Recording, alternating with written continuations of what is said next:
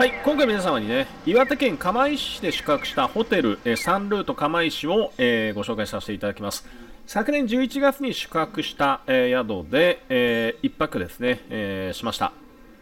岩手県の釜石にいます。釜石ということで、えー、三陸海岸ということで海側太平洋側に面しているところです。今日はどこから来たかというと遠野から来て、えー、45キロぐらい運転してきたかなで海岸に来て釜石ということでね。まあ、かつては9万人ぐらい人口がいたところなんで最盛期は今3万数千人3000人ぐらいということで東日本大震災まで提出する人もいましたからね、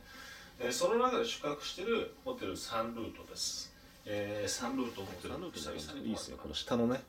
この絨毯の感じとそこのところのちょっとシックな感じ。あのー、色合いがえー、灰色っていうかねなんかちょっとねいい感じです。で4階のお部屋ということで駅から1.3キロぐらいちょっと離れてるんだけどね、まあ、車で来てるんで車を止めてるんでね特に問題ないんだけど海から近い。この辺りも津波で被害にあったのかなって感じがするとねもうちょっと先かこの辺りか。こんな感じです。で